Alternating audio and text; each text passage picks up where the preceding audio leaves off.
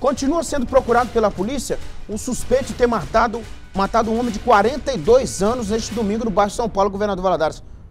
Olha, essa imagem aí mostra a execução. Ah, ali já estava baleado, né? Olha só. Segundo o registro policial, a vítima foi atingida por quase 10 disparos de arma de fogo. É isso mesmo? 10 disparos de arma de fogo na região do tórax e do braço, né? Deixa eu chamar o Roberto Tomás. Ô Tomás, achei curioso a imagem ali. Quer dizer, são mais de 10 disparos. Você vai falar dessa ocorrência do bairro São Paulo, amigo. Boa tarde.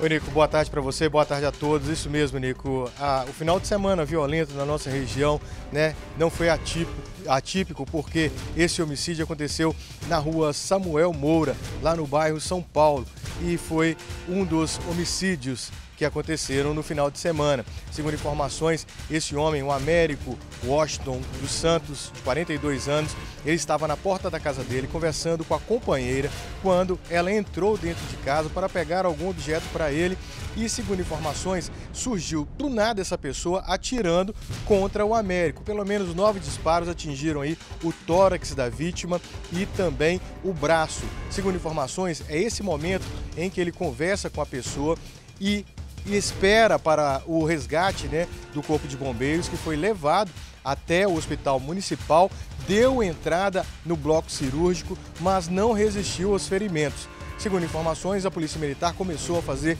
várias rondas dentro desse alcance do bairro São Paulo para tentar encontrar o autor dos disparos de arma de fogo contra o Américo. Segundo informações também, ninguém quis falar sobre o assunto no local e não souberam precisar quem foi que atirou contra a vítima e qual seria a motivação desse crime e desse assassinato do homem de 42 anos. Segundo informações também colhidas, Nico, a Polícia Militar faz aquele trabalho de praxe, colhendo informações também através do 181, que é o Disque Denúncia, a ferramenta que eles disponibilizam para que a pessoa que viu algo possa entrar em contato e ajudar a elucidar esse caso, porque a Polícia Militar tem sim que dar uma resposta e leva para a Polícia Judiciária a fazer o término dessa investigação. Então eles precisam de um nome de uma pessoa que possivelmente tirou a vida do Américo Washington dos Santos, de 42 anos,